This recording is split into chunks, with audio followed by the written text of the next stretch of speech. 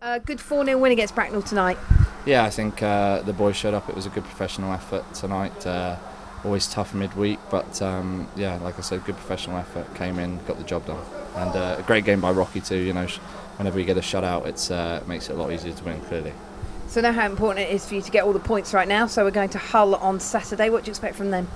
Yeah, again, I think uh, we just have to worry about ourselves at this time of year. We've been playing good hockey recently, uh, and no matter on the the opponent, I think you've seen uh, this year each team take points off everyone else. Hull are at the bottom end of the table, but that doesn't really that doesn't really change our approach to the game. We have to go and put together a full 60 minutes and just keep uh, keep playing. We've got the cup coming up at the end of the month, start next month, uh, and through the playoffs. So we just have to focus on, on playing consistently now for the rest of the year.